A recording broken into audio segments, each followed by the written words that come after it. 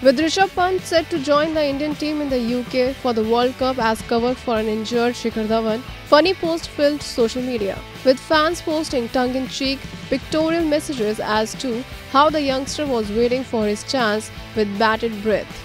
Pant was initially ignored as Dinesh Karthik was picked in the 15-member WC squad, triggering mixed reactions from experts as well as fans. He scored 488 runs in 16 matches, including three half centuries in the IPL. While the team management felt he's still not ready for the biggest stage, Pant made no bones about the fact that World Cup was on his mind during the IPL. Pant is yet to be named as replacement for Dhawan as the BCCI is still hopeful that the India opener will recover from his injury in 2 to 3 weeks.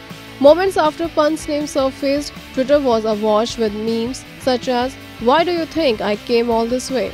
Which is a famous dialogue from popular HBO TV series Game of Thrones, which ended recently.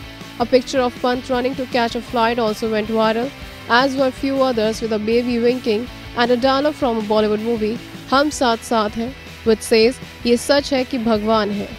IANS report. Subscribe to our channel. Just click on the bell icon for all the latest updates.